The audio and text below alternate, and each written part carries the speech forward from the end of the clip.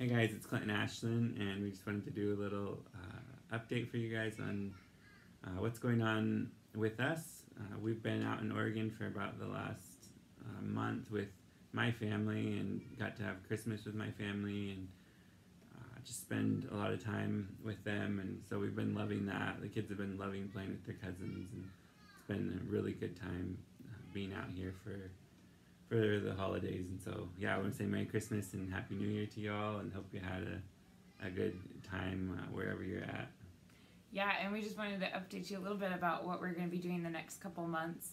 Um, we'll be here for yeah the next few months, um, and we're going to be speaking in a couple different churches uh, during the next few weeks. And so we're really excited about that. Really excited to share with all the people kind of out on this coast what's been going on in Papua New Guinea and what God's doing out there. So, just a couple dates for you guys to keep in mind if any of you are out this way and want to come hear us speak. Um, will be the first church we're going to be at is our home church here in uh, Westport, Oregon, um, and that we'll be speaking there on January 13th. And uh, so, if you'd like to come out to that, um, just email us for directions and we can get you an address. Um, January 20th, so the following week, We'll be up in Canada. We're going to do a couple weeks up there, a trip up there. And we're going to be speaking in the DeBolt Gospel Light Church up in DeBolt, Alberta. So feel free to come on out to that as well if you're up in the area. January 27th, so the following week after that, we'll be in Moscow, Idaho at Moscow Bible Church.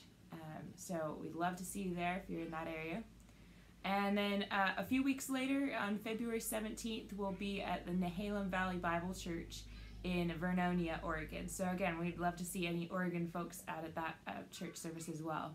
So, um, we're going to be, yeah, just talking a little bit about uh, the things that God's been doing in our lives and, and also in our ministry there in, in Papua New Guinea. So, we'd love to see you there.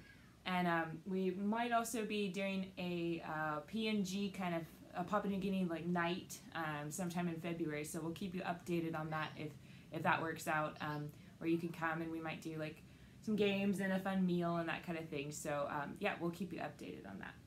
Yeah, so just want to say thanks so much for all of you guys that are praying for us and supporting us. For all of you that um, have given so generously this year, um, we've yeah, we're just really um, appreciate each one of you and just the part that you've played in our lives and in the ministry that um, we're a part of in Papua New Guinea. So thanks.